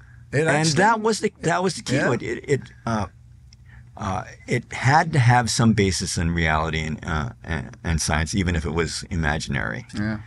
And even even the term technobabble, I don't think I invented the word, but I was the one who used it for Star Trek. And the reason it was a lot of the writers, especially early on, were intimidated by this thing. And if you say, well, technically accurate, it needs to be this, they'll, they'll, they will understandably freeze up. Whereas if you kind of make light of it, saying, oh, it's just technobabble, we're just trying to, uh, you're, it's- we're not trying to rewrite your scene. We're just trying to change proton to neutron and uh, Well, it prompts the question, and it has to be asked on our show. How does the Heisenberg compensator work? It works very well. High five. I, I don't know if you're aware, but that quote uh, comes from an interview that I did in Time magazine. uh-huh. They were doing an article, uh, a special issue, Star Trek issue for the uh, uh, for one of the big anniversaries. And one of the Time magazine writers called me for I don't know why she called, but she did, and and wanted just to fact check a bunch of stuff. And so she asked a bunch of things, and I answered them as best as I could. But I, I, I, I had a job, and I had to get back to what I was doing. and her last question was, "How does the Heisenberg compensator work?" And she expected me to invent some Yeah, right. Right. explanation. And I said, "It works very well, thank you." Yeah, yeah. Brilliant. The best, best answer possible. I gotta go. Uh, I because I wasn't even particularly aware of the uncertainty principle about it. What is it? Is it- So, uh, uh, elect. What is it? Pa- particles. You can Yeah, you, you- can measure the velocity or the position, but you can't do both at the Exactly, same time. exactly. Right. And Look at me. theoretical Oh, physics. Dominic, There you go. basically a physicist. A, a plus. and uh, it uh, I first used it in uh, uh, uh, in the system diagram that I did for the transporter in Star Trek: The Next Generation, and I was aware of it because uh, Arthur Clarke had written a book uh, called Profiles of the Future, and it explained why the uncertainty principle would make it very difficult for a transporter to work. So Well, yeah. when I, when I design a control panel, I try to tell myself a little story about how the system works. I don't have to exactly know, but it, it just gives it a little more visual credibility. And I thought, well, how do we uh, how do we compensate for the uncertainty principle? And I started thinking of all these complicated words, and I realized, wait, this is science fiction. You don't have to explain it. You just have to say there's a compensator. There's a Heisenberg compensator. Right. Right. Right. So I, I, I put a little label that said. Heisenberg compensation. Yeah. Clarke, what a genius. I mean, when you see some of the things he was saying 50, 60 years ago, that Unbelievable. unbelievable. I mean, truly. I just saw him recently. He did a, a interview uh, a long time ago, but there was a bit on Twitter where he was talking about basically how we live our lives now, about what to expect with your phones, and be able to to work from home, and there's no more need to, you know, be in an office together. And no, he he saw. He Didn't saw see it the all- he saw pandemic coming, though. uh, he didn't. I wanted to ask, you know, uh, without you guys, there would be no catalog. Did you go to them with the catalog idea? Did they come to you for the For Christie's? thing? Yeah. Well, that was their idea. That I mean, Christie's, they were great to work with, but that's what they did. They, you know, that they have catalogs for other auction Right. uh, items. And Did they think that when Enterprise cancelled that that was kind of going to be the end of Star Trek? I mean, and they're so it's like, let's just get rid of this stuff. Well, wasn't it Paramount saying we got to get rid of all this crap in our storage It- yeah, I was going to say it costs a lot of money to, to store to store everything, Right. Um, and so they Why they kept it all those years? Well, for for for Maybe. almost for almost twenty years, they had an ongoing need for uh, Yeah. for for that stuff. Yeah. But at the end of that, they had they had five. The rent on five warehouses. They uh, they told us what it was. It was some fierce number. yeah. I was watching, um, I don't know, an old episode. It was uh, maybe Next Gen. And I swear to God, there was a configuration of rock. No, maybe it was the shoot, actually. Or anyway, there was a configuration of rocks. And I'm like, that was, we used that configuration. exactly the same folding and you know, the same bubble coming out. It was like, yeah, no, I walked around that. Yeah. Yeah. Your your encyclopedia of Star Trek, though, and it's had now how many iterations? Updates? Four. Four. Four. I don't remember. I'm telling you, it's four. I, bel- I believe okay, I you. believe you. I believe you. Um, I've signed a lot of them too. Yeah, thank you. yeah, yeah. Thank you very Yeah, much. likewise. You're welcome. was they they always come to you guys, or did you come to them, or They. they? um. uh, we did the Star Trek, the Star Trek chronology. Actually, Gene Roddenberry came to us and asked us to write uh, the chronology because um, there were all there were novels and stuff, and he wanted everything to be to reflect what was seen on the shows as canon. And so that's what Mike and I did, and we put the chronology together. That was a fun book to write, but a lot of work. And we would we would take the script, we'd watch the aired episode, we'd correct the script to air, and then that would be our Bible. That's that's what we that's the by the definitions and the timeline is what we we had an 18 page uh, questionnaire and we would go through every episode and you know where was the enterprise going you know um, what was it doing and we'd put that all together like a puzzle. And we had all this information a lot more than went into the chronology and Pocket Books simon and schuster. Yeah, Kevin Ryan, who Kevin was Ryan, executive editor at the time. came to us and said would you do an encyclopedia? And we thought oh how much work can that be we, uh-huh. figured, we figured it was a, it was the same Was information. it a summer house? we, we figured it was the same information. One is is organized chronologically, the other one's organized alphabetically. and we thought oh sure, easy peasy. Sure. So we were working on two television series and a feature every other year and writing these books. And it's a Do you good ever thing. just go, I just can't do any more Trek? I mean, I'm just done. Yes, but not then. But yes, we have s- absolutely said Because I that. know you're, you're, you're huge fans of The West Wing, or were, weren't you? And Absolutely. You, Oh, yeah. You, hid Easter eggs in some of the episodes. Wasn't Love there The a, West Wing. Wasn't there a, a list of some crew members that died in yeah, one that, episode? that ended up being a little more prominent than they should have. It should have been. and uh, you tried to you tried to disguise it, didn't you, so that the Yeah. casual observer fan wouldn't notice. And, Yeah, uh, and that that was done in the uh, with our cohort uh, uh, Jim Vanover Senior, who was uh, who graphic animator on the show. One of the nice things, though, is that um, we have a saying if it ain't fun, we're not doing it. Um, and so we have tried to look for projects um, that have that spark our interest or our enthusiasm. And of course, we love Star Trek, and that has carried it through many, many years. But the current uh, series we're working on is Apple TV Plus um, for All Mankind, um, created by Ron uh, Moore? Ron Moore, Yeah. who worked on TNG and DS9 and so forth and so on. He brought us on not as designers, but as technical consultants because he knew we were big space geeks. And so that's what we've been doing for the last um, four seasons. It's a testament to your talent that you have been able to do what you want and like and love. we're very lucky and we Very know we're lucky and Yeah. we don't take it for granted. Yeah. Clearly. Yeah. then we've got to touch on the NASA stuff.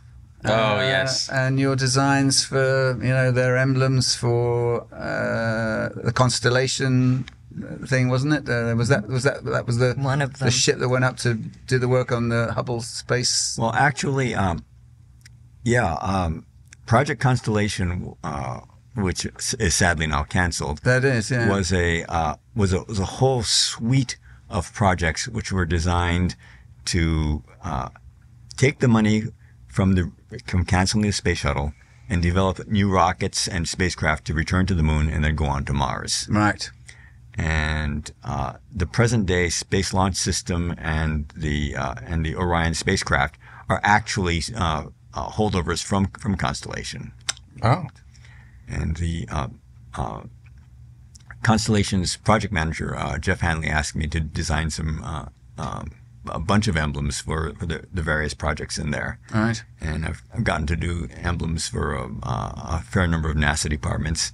Uh, the most fun thing, of course, was uh, Space Shuttle mission STS uh, 125, 125, yeah. which was the final servicing mission to Hubble. Mm-hmm.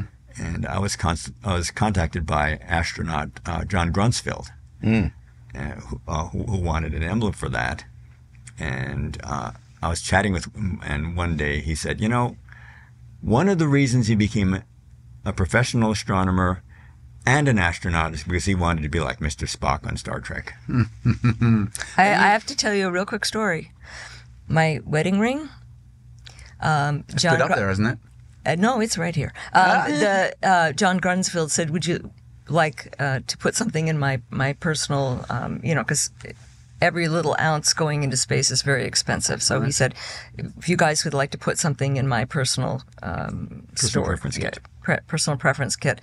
And so um, we went out and bought a new diamond for my wedding ring and we sent it. It went into space and came back and we put it and we had the jewelry put in. So this is my magic space diamond. This has been in Did you get it checked? It is actually the same one. No. do you know we do you know we I wouldn't trust actually we actually called our um, insurance adjuster person and said how do we um, insure this? Yeah. and he said I don't think you can. I don't think there's a precedent for precedent? This for so it was a leap of faith but it came back and it's Wow, on my this is my magic space diamond. We'll yes, have to kiss that outer Oh my God, that's amazing. Uh, and you you you received uh, I forget what it was Lifetime a, a lifetime no what, what you got an award from from the from from the NASA? from NASA Yes. yeah for, I think it's talking about the Art Directors Guild, what ADG. no, No, I'm well, talking for the about- art no, directors your- guild your we got lifetime achievement lifetime but achievement. But Michael got the and I don't ever remember the name of it it's an exceptional, Exceptional Public service. public service public service. Yes, we Yeah. flew to we flew to um, Houston, and How. Michael went on stage and got this very high honor, which is you know wonderful. And if we're talking awards, we, you know, you've uh, got the ADG award, uh, the Art Directors Guild award for lifetime achievement. Mhm, Both- Lifetime Achievement Award. those. Has Mr. Musk uh, reached out to you in any respect? No. He, ha- he has not. Just asking. But has he tweeted you? Sorry, xed you? No, I was going to say what- no, I- we did visit the uh, SpaceX facility in uh, in Hawthorne. It- Amazing. It, really is Really? amazing, What, Amazing. they, are doing there. It is, isn't It it? is, Um, uh, there are rumours, aren't there, that we he might be coming on the show? There are rumors. There are rumors. We're doing an episode in space shuttle- with him. no, nice. Take us with you. Uh, are you guys familiar with a company called Vector Rockets? Uh, S- Stephen, Coleman, Stephen uh, Smith from NASA introduced you to Sean Coleman and Vector Rockets a number of years ago. Do you recall that? He's a big fan of ours and a patron and a sub, you know, big patron of the show. And Yeah. He has a rocket. He has a. We have a rocket rocket, company. company. patron. That's very cool. yeah, it's very cool. Which which is Vector Rockets? Vector Rock. Well, I think it's all top secret. So I Yeah. It actually is quite top secret, isn't Yeah. it? That's uh, government stuff. Ixnay on the Ocket Ray. Oct. uh, it's a small rocket. They do the uh, top secret stuff. Suffice it to say, if I lose a couple of pounds, apparently they'll take me up.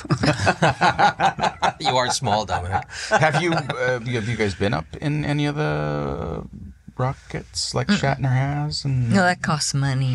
well, they, well, I'm they sure no. I'm you. sure they paid him, not yes, right, but right. yeah, no. It's I a would have read little. about that. Yeah, right. But it does sound like fun. It sounds like fun. We'd love to. Yeah, but, sure. Yeah, It's only a mile away. yeah, yeah. Up. Up. So that's- yeah. Should we go to some uh, Some fan, questions? I think so. Uh, I'm just going to say here, uh, I, I haven't counted them yet, but there's a chance you guys broke our number of fan questions. Oh, record. wow. Nice. No Yeah, kidding. we have Not so many You're up of to them. seven. Yeah. what, what- one time, Mikey being funny. first time we got six questions, I was like an excited little boy. Can we call you Mikey O? Apparently, if you're really if you're good mates with him, it's Mikey O. Yeah. You. Uh, Uh, uh, I'm not there yet. No, not today. Mr. Okuda, you sunshine. exactly. So I, I do want to say uh, thank you to everyone out there who sent in questions. It's really amazing how many of you got excited about this episode and uh, how many were uh, assuming that this would require at least two episodes with the volume of information and the number of stories that you guys have to, to share. And uh, so thank you all for sending in questions. All right. Are you ready for fan questions? Go for it. Michael Adam Goodwill from Patreon asks, "How did it feel returning to Star Trek after so long? Did it feel like you ne- had never left?" That's actually a, a, a really good question because it had been quite a few years since uh, since we had worked on on Star Trek, and going back, I'm going well. Now, honestly, it felt like a job when uh, when when when I first did it. It was like, well, here, here's a deadline. Here's, here's what we need to do, and um, but then when I stepped onto onto that bridge, when we stepped onto that bridge, suddenly the the, the sensory experience of I spent so many hours here, and then uh, we we vicariously had had participated in all these adventures with uh, with these with these actors and with these characters. Right. So it was uh, it ended up being very emotional. I can only imagine. Yeah, all the cast said as much too, and uh, um, Terry Matalas said as much. That um, they all had a moment there when they stepped onto that bridge. Yeah, and sat in their seats again, or stood at the horseshoe, and yeah, yeah. We can only hope, darling. I'm dead. Well, like my father, no one dies in science right. fiction. I've, I've forgotten that. My, my father always said you can wish in one hand and in the other. See which one fills up first. Oh, boom! I just got F bomb. Great. Uh, okay. Next question. Next question. Stephen Gissinger from Patreon asks, "How does it make you feel knowing people use your design aesthetic for actual interfaces on their phones and such?" At Starbase400 on Twitter adds, "Did you ever think you'd see that?" First of all, when you see some that someone likes what you've done enough uh, uh, to emulate it, that's that's hugely flattering. Of course. I- I mean, it, and it, it's it, it's not just that they're loving your stuff; it's that they're loving that it was part of a show that that, that they love. Mm-hmm. So you, you you need you need to keep that in mind. The other thing is that what we do when uh, in the control panels and readouts, you you're trying to come up with something that looks like it's it's it's authentic that you could really fly a starship but you're also but you're primarily doing something that needs to fulfill a, a dramatic need a storytelling need uh, and, and and a bunch of other technical things uh, in fact designing a real interface is much harder than than what we do right. and so I take my hat out, hat off to the to those people who actually take these fanciful things that we've come up with and actually make it work. So the the GUI stuff is real, as it were, graphic user interface. That's real, and your LCARS. I mean, The, I wasn't trying to design an actual functional interface. I was trying to design something that when you see it on see it on television, you might think, well, I could fly a starship. Right. yeah, yeah. So, and and that's a trick of drama. You, you're, uh, you know, e- each person involved in filmmaking uh, tries to evoke that in in the in the in the audience's mind's mm. eye. Yeah, it's the willful suspension of disbelief. Yeah, mm-hmm. And mm-hmm. and if I can do something that looks credible, and if the actors are operating it credibly. Uh, the audience will will Sorry. yeah well we're sometimes we luck out You're looking at me. I wasn't looking at you. and and if you if you can do that, then uh, then the audience does suspend its disbelief. yeah. And and the fact that so many people uh, seem to seem to like the LCARS style show, shows that uh, this.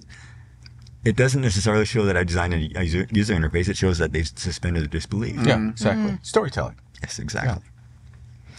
All right. Next question is from Matthew Edmonds from Patreon. What do you consider the biggest compliment you've received about your work?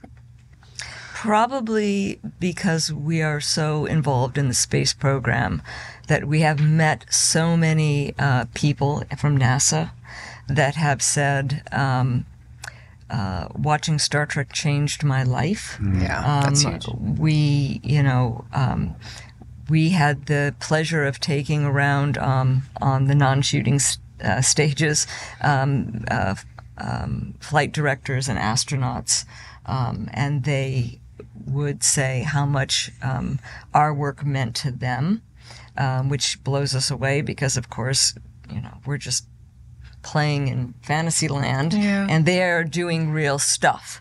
So that's probably the highest uh, compliment. So the ins- it's the inspiration, isn't it? And, Yeah. uh, and uh, you know, when you watch it as a, as a young person, the idea that y- you could actually go into it, into it and maybe maybe make that happen. Mm-hmm. Yeah, yeah. And who knows? Um, yeah, it's early days yet. Yeah, that was made really clear to me. I went uh, at one point, just after our show was over.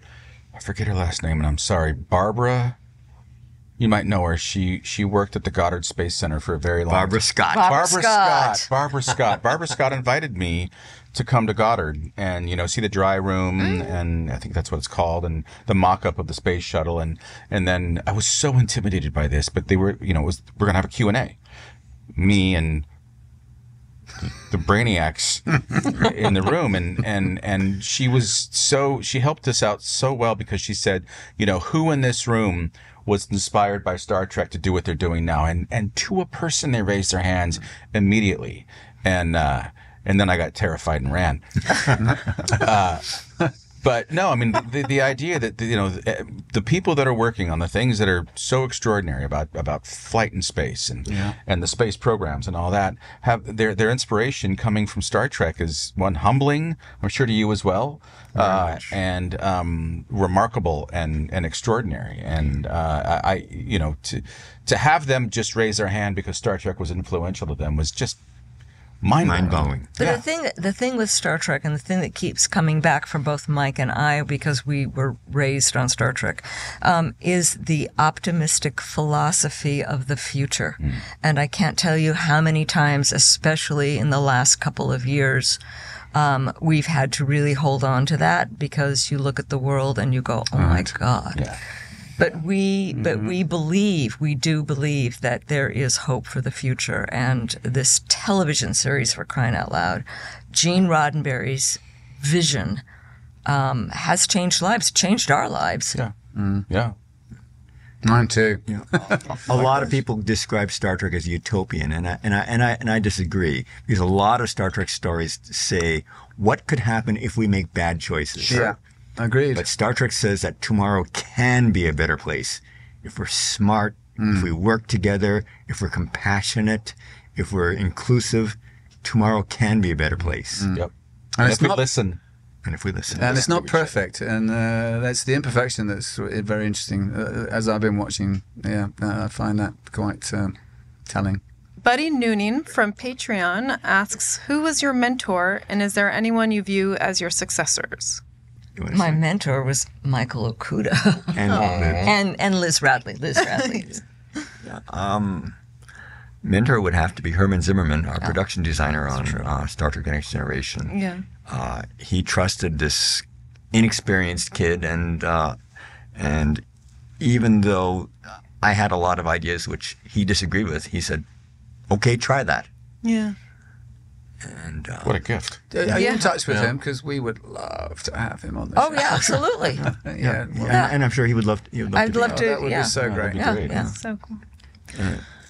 And uh, one of the great gifts that we've had on Star Trek, very seriously, is occasionally you have an opportunity to hire someone and to bring someone in, into the into the industry or into the art department that uh, loves it as much as you and will bring his or her own spin to it.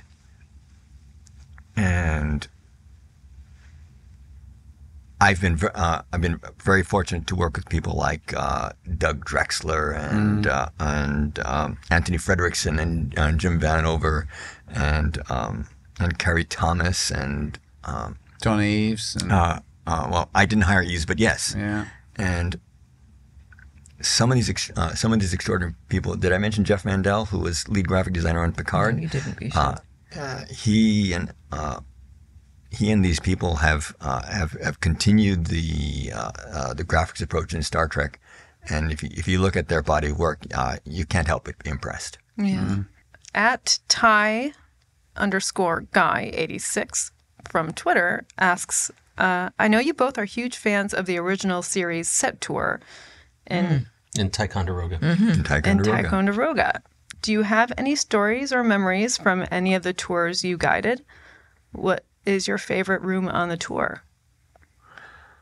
Well, we recently uh, we were just there uh, a couple of months ago, and um, uh, sometimes uh, Bill Shatner comes by, and uh, for for whatever reason he asked us to tag along on, on the tour, and we were standing in the transporter room, and he was telling stories and entertaining people, and he said uh, he. I have no idea why, but he asked us to to come on stage and and we Get just up to the transporter with him. on onto the transporter and uh, and to chat. So to kind of just be hanging around in the transporter room with Captain Kirk, that's uh, that's pretty fun. I'm so jealous right now. Just a, a, sh- a shout out to James Cawley, um, who uh, created the the uh, Star Trek tour in Ticonderoga, New York. Um, it is an extraordinary experience. If you um, love Star Trek, if you love the original series. Uh, to go there and physically be on the sets. I mean, we recreated um, the bridge Bits and pieces. in bits and pieces. This is ceilings, floors. It's thing. it's the whole thing. It's an immersive It's- experience. Isn't is it? It's- amazing. It's the entire uh, standing Enterprise interior sets from the original Star Trek, and and of course, as as, as you know, uh, a real a real set. It's almost never entirely there. There's always walls Yeah, welded right. away, or, or people are using it to stand to store C stands or, or, Sure. or grip cards or things. Right. But here, it's lit. It's it's complete, and there's sound effects, and that's what it must have felt like to walk down the deck of of uh, of the Enterprise. Have you? Oh, well. No. No, me neither. it's You should go. you should go. We, we should you absolutely should go. Yeah. We'll talk to James. Yes. Um, Wow. James Cawley is, do a show is from there. another amazing. Oh, what a thinking, great right? How fun would idea! Um, Look anyway, at George. Yeah, maybe. Uh, or I tell you, definitely uh, Walter.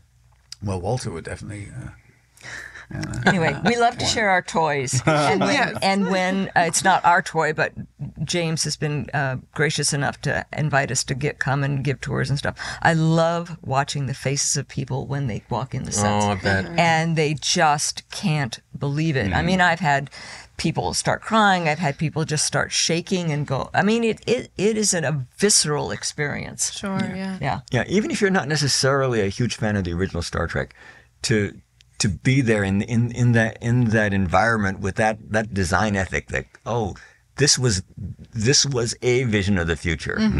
Uh, well, it's Riles from Instagram asks, What's your favorite Easter egg from your designs?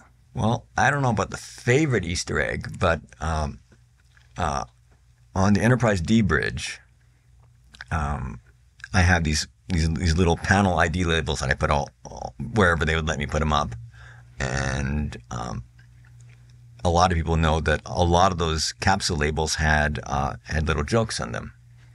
So when we recreated the bridge for uh, uh, for Star Trek Picard, I, s- I c- I called Liz Kloczkowski, the uh, art director, and I said, "Do you want it with jokes, or do you want it without?" Because remember, this is now in 4K. Yeah. The originals were done for standard def, so I was pretty confident you, you'd never You see were a joke. see it.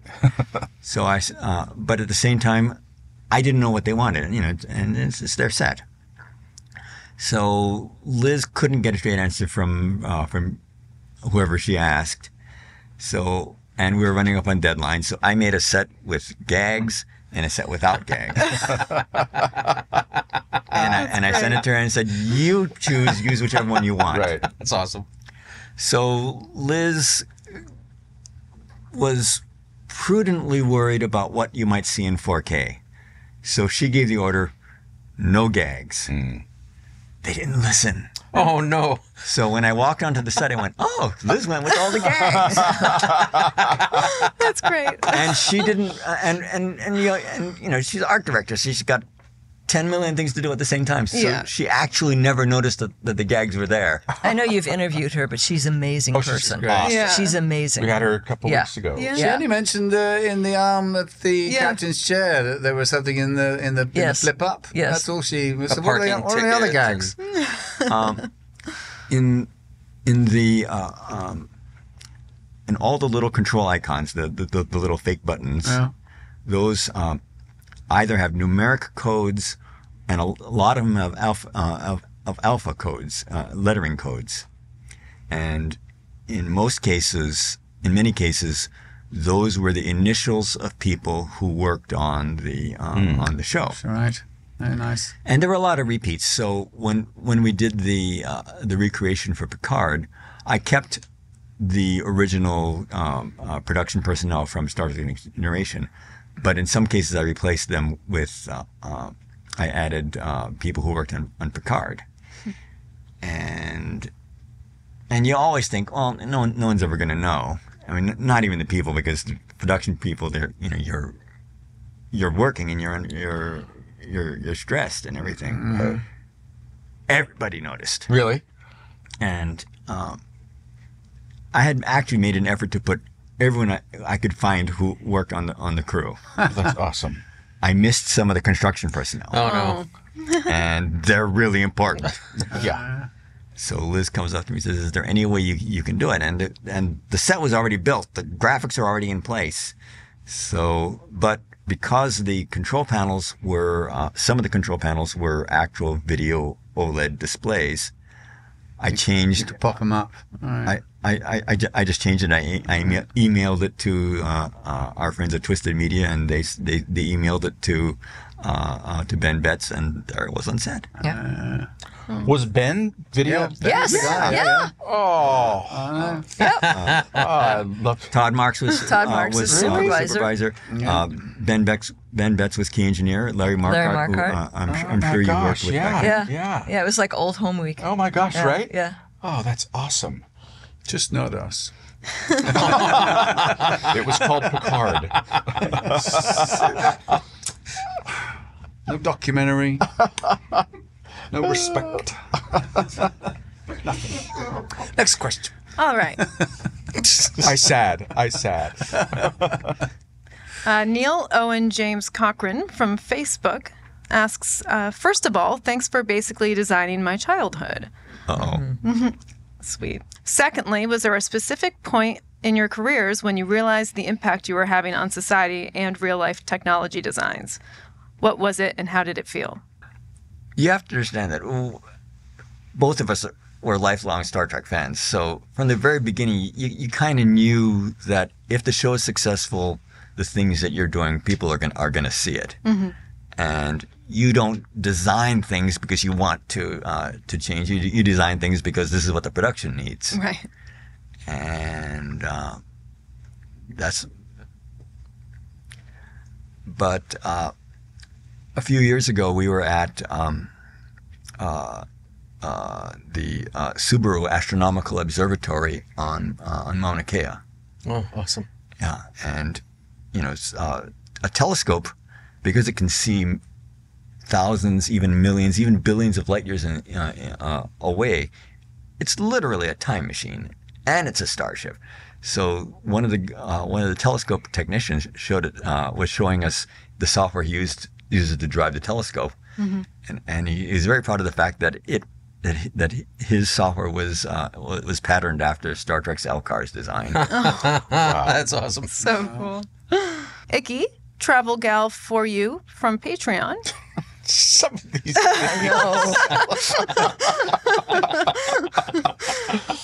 Don't be, it's not. I'm not. I'm not. I'm not I'm, She's a Patreon member. that's, I'm, I'm in no. I am no way. I just. that's her name? They're Then- funny. Travel girl, keep it up. All right. Uh, Icky Travel Gal for you from Patreon asks, would you consider designing a patch for Shuttlepod Show Patreon? Oh. Would you consider? Oh, I think you better say yes. give, it- give us a call. Yeah. Right. You'll never Great. leave. Doors are locked. We have the keys. By by the way, uh, in uh, I forget what the episode was where we had it was a next generation episode. We had a very small shuttlecraft, and for some reason uh, we needed a name for it, and I, I coined the name Shuttlepod. Did you? No kidding. Oh, I had no, I did not know that, dude. Well, well, well. Well, thank you. We owe you a dead thanks. That's right. But not any money. Don't And we tell will me. take we will take the emblem. Uh, get on it. You've got till next weekend. Pressure's on. That's, that's a cool fact. CBS. Look at you. Yeah. Oh, that's great. Um, is it time For trivia. trivia? We're gonna Just- win, by the way. We might. We've got a good chance. If we don't, I mean, honestly, we've got a good. Mark chance. knows everything. Was there another question? No, I just want to say thank you to the Random Red Shirt podcast, uh, Zach and Chris. We Thank you always guys say thank you for to the doing our Random Red trivia. They help with trivia. So Thank you, You guys. guys are awesome. Are you guys ready for some Star Trek trivia? Yeah. Yes, yes, Oh, yes. I don't know. So today it's you four No pressure, guys. But you better- against producer Mark. Yeah. Um, it's multiple choice. And today we are playing for a new Patreon member Stephanie Baker. Thank you, Stephanie. Stephanie, Stephanie, we're gonna win you a Thank you. car. And Mark's playing for. I'm playing for our newest, most current Patreon member, uh, who, as of right this second, is Matt Boardman. So thank you Oh, for we coming. know Hey, Matt. Matt. Hey, Matt. We know Matt. Look at that. Shout out, Matt. Five questions. Here we go.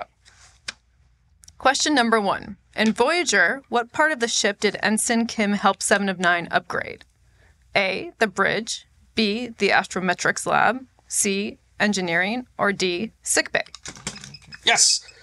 Uh, Astrometrics Lab. Yes. Damn. Uh, I, I was nervous. knew I, that. I need to get some We buzzer knew wins. that one. All right. Oh, thank God. Question number two. What class starship was the Enterprise C? A. Galaxy class. Wait. Wait for it. I know this too. it's a buzzer race. A. Galaxy class. B. Constitution class. C. Ambassador class. Or D. Sovereign class. Mark, yes, Mark, Mark, Mark, yes. Mother of Uh, invention. uh, uh, ambassador class. Yes, thank God. Damn. So, I'm nervous. This is the first time I've been nervous. Connor, does he have your? Yes, he's got my button. okay. It's just Question a number Don't call three. it a comeback. Go on, then. In which original series episode was Spock blinded? A. Is there in truth no beauty? B. Operation Annihilate. C. A taste of Armageddon. Or D. The alternative factor. Oh. Yes, we got it. There it is. Do we know? Who knows? Operation Annihilate. Operation Annihilate. Yes. All right. it's real. This is a real Question one. number four. Question number four. In First Contact, what ship did Picard say he saw hundreds of times in the Smithsonian but was never able to touch? A. The Phoenix. B. USS Constitution. C. USS Enterprise. Or D. Mars One. See, I'm pretty good at this. Ah. Do you know? Do you guys know? No. We do. Oh, yes. good. Say it. Uh, in Phoenix. At Phoenix. Oh. Two all. and he touches it, and Data asks him if physical contact with inanimate objects brings uh, joy or whatever. What is it about that? It's a great scene. And you're not supposed to stu- touch stuff at the Smithsonian. Oh, That's a rule. did you learn that? we worked with the Smithsonian. Yeah. With um, the uh, Enterprise D. Uh, yeah. Um, no, the original series the, the Enterprise. yeah. TOS Enterprise. Yeah. Uh, Denise asked if she could touch the uh, touch the saucer of the original Enterprise, Yeah. and uh, um, Margaret Weitekamp, the uh, curator, said, "Sure, put these gloves on." We had to put gloves on. White gloves? Didn't Yeah, you white work in, in sort of restoring that in some Yes. way? Yeah, you Yeah. did, didn't Yeah. you? Yeah, We were God in the advisory committee. We were in the Yeah. advisory committee. The, the original 13 foot. Uh, yeah, yeah, Yeah. I know Charlie Datin, whose dad designed. Richard Datin. Richard Datin. Richard Datin, yeah. Richard Datin. Charlie, Built- Charlie, you know, I Built the, it. the cruises I, Yeah. cruises I get invited on. uh, Charlie does them, uh, and his dad, yeah. God bless. Wow. Really? Wow. Yeah. That's amazing. that? Small, what a small, Small world. world. Yeah, I, I, I chatted with uh, Richard Datin once. Uh, I, I, we were working on a book that never happened, but uh, uh, he built the uh, uh, Petticoat Junction. He built the Cannonball Express, No way. Well, well, well. well. which was a, which was a miniature. God, the only time I went to the Smithsonian, and I, I've told, I may have told this story once before, but we were, I was standing in front of the pictures of the moon landing, uh, and there was a chap standing next to me, and he was muttering, and he was a horse. All completely fake, and, and I looked at him, and then he started getting into me, and I said, "Well, at least you didn't have to pay to get in." Good comeback. Oh, that's awesome. That's awesome. it's all right. anyway, next question. We're tied two to two. Two to two. Oh, All it's right. real. Here we go. Question number five. The droppings of Dr. Phlox's Altarian marsupial have what highly prized property? A. They stop the Vulcan mating urge, the Pon farr. B. They cure Andorian shingles. C. They contain regenerative enzymes. Or D. They make an excellent coffee alternative. Mark, Mark, Mark, Mark. Yes. He got it. It's the degenerative, isn't it? It- it- it's C. It's the regenerative enzyme. Uh, sorry, guys. Damn you! Ah, damn your eyes! This is the first time I've ever taken Oh, no, the buzzer super serious because I knew you guys were going to sweep the floor Oh, with damn! me. I knew that one. Oh. Well, uh, uh, it's not it's not your fault this week. I'm sure you guys had every answer, but uh, you did still uh, team celebrities lose for uh, Stephanie Baker. So, yeah, wow, with, with pride I hear in the voice. You get a car. and uh, uh, I won uh, for uh, your friend uh, Matt uh, Boardman. So congratulations, Matt Boardman. Thank you, Matt. Hey, Tam. Congrats, congrats. for coming on. Thanks for joining us. member. Take a leaf out of Matt's book, people. Thank you very much. And now it's time for Stuck on an Island with Connor Trinneer. Well, so you're stuck on a deserted island, comma, with your host Connor Trinneer. Um, so He's not there. I'm not there. He's the host of the segment. Fortunately, the both of you are. Now, how do we do this? Now, is it individual answers or collective answers? Oh, we I should think make should them go- decide uh, I one. think- Oh, I think. Oh, I'd go No, we should individually. They're there together. I- but, yeah. You're on. You're So- on so here's how- adjacent islands. You're on the same island. You actually you've got your bonus item. uh, so you are given the works of Shakespeare. You are given the religious text of your choice, and you have to select your cuisine. Which, if you choose like Mexican food, you get all the Mexican food. Your author, same thing. You get their collected works. Musician slash composer, all of their works, and um, what else? Dessert. And how could I forget dessert? Like if you pick pie, you get all pies, all flavors, and then you get a bonus item. I'm not sure you guys get a bonus item because you have each other, but um, Oh, I think. I think that's when you need the bonus. so I guess we'll go uh, individually. yes, bad. each one of you. So um, your author. Arthur C. Clarke. oh, how would have gone? Lovely choice. What about you, uh, Mike? No, she's going Clarke. I'll, I'll go as Asimov. Oh, See, nice. these guys, that. they get it. They, get- Yeah. they get a dream island. now. Yeah. Uh, your cuisine. Pizza.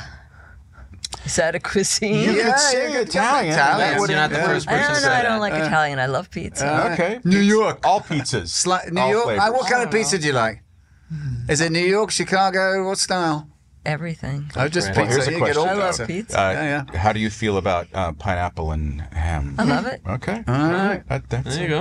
Oh, then So, we're gonna we're Michael, gonna get you're- we're We're gonna get. There you go. We're They're gonna already get a lot of starting. talk on We're that. getting comments now. How dare you put pineapple on a pizza? I used to love the Okudas. I'm done with this show. what about Mike? Yeah, I'll, I'll, I'll go with Japanese cuisine. Yeah. Yeah. Okay. Oh, there you go. Oh, look at you. You guys are having a great island. Uh, your musician slash composer? Paul McCartney. Yeah. The Beatles could even say the or Beatles. just Paul? Or the Beatles. Yeah, the Beatles. Okay. Yeah, I was gonna go. With, I was gonna go with that band. This that old band. that old band. That, the Beatles as well. Uh, you could pick something else because you guys have two choices. But the Beatles, I agree. Beatles are mine as well. And your dessert. Oh, I love cheesecake. Yeah. Yeah. Yeah, old cheesecake. All flavors of cheesecake. You like apple pie? Pie. Apple Get pies. pies. See, Yeah. pies. Now here's here. Okay, so your your bonus item. Now it can be. It can't get you off the island. Um, for instance, uh, I always use an example. Jimmy Darren chose a Ferrari Yeah. on his little With a machete in the trunk. But you could pick something like you know a hammock or some, some bonus item that uh, uh, makes you happy. Can I it's a pick a- luxury, you know. Can I pick a holodeck? Does it work? I mean, this is a Oh. fake island. I I pick a holodeck so I can not Sure. be on the island. Sure. Yeah. Yeah. I don't think you're the first person to say that. I think No, somebody Yeah, said that yeah. once. A holodeck's a good a good one. Uh, Michael. Phone. Yeah. Well, look at Well, you what two. would you do? I mean, okay, are we allowing a phone? Because you, you Listen, are we allow- AT and T covers uh, the entire. But you- we don't want. Well, you can't talk to people. You didn't say that. No, we just said you Oh. can't. You said you can't We leave the can't island, leave or I would have said transporter. All right, all right. All right. Uh, Which yeah. would have been a good. Yeah. there you go. I'm coming to your guys' island. yeah. You're very welcome. I'm very Come on close. over. We're all very. We're an archipelago. Wait, what, what kind of food do you have in your island? Uh, Mexican. Okay, you're you're allowed. Okay, thank you. We're all listening With to the Beatles. margaritas. With, with the margaritas. With the margaritas. Exactly. Okay, I like Best that. margarita I like of that. the Rio Grande. Um, it makes me feel bad because I mean I'm sure I said red wine. You're welcome too. Then and if they brought a crate of Guinness, crate of Guinness now and again, that wouldn't hurt It wouldn't hurt. You know, for the sundown. Well, it's been an absolute joy having you guys on. It's been great. Thank you so much for been coming fun. on. Thank you. Yeah, Thank you for having It me. would be a pleasure. Bless you. Uh, uh, we almost forgot. Uh, do you like wine? Do you like Yes. what we, yes. All right. Do you prefer Pinot Noir or what was the other one? Cabernet. Cabernet. We have a lovely Patreon member uh, too, but Sean and Chris, they have a, a, a vineyard up in uh, San Jose called the Alamitos. Their family designs all the uh, Wow. All the artwork. for Yeah. the- very nice art. Well, thank label. you. Uh, so uh, this is a bottle of Cabernet from Alamitos Vineyards in San Jose. There you Very nice. Thank you very much, guys. Thank you, Sean and Chris. Thank For your you. pizza. Thank you much. For our pizza, right? Yeah, for your pizza. That's nice. But again, I mean, really blessed to to have you here and uh, It's a spend some time with Well, you. we really enjoyed it. Yeah, we miss you guys. Likewise. I mean, likewise. we miss you. Yeah, we get to Good see to see you you on the picket line, by the way. Just so we all we back on that page for a second. Uh, we were all there at Paramount. It's a strange mixed bag. Strange wasn't it? reason, but if we do not stick together, No. if we don't, if we do not hang together, we will, we will most certainly hang separately, as will Ben hang Franklin together. used to say. Exactly right. Um, it's important to be fair to the people who do the work, to the people whom, uh, who without whom this stuff could not happen. The uh, the actors, the writers, and for all of us who enjoy your work so much, we can't help but support. Thank you, mate. Thank you. Thank you. They're Yeah. the faces of these franchises. Yeah. Thank you. Yeah. The Okudas! Yay! Thank you.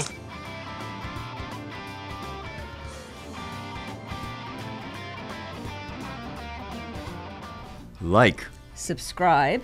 join us on Patreon.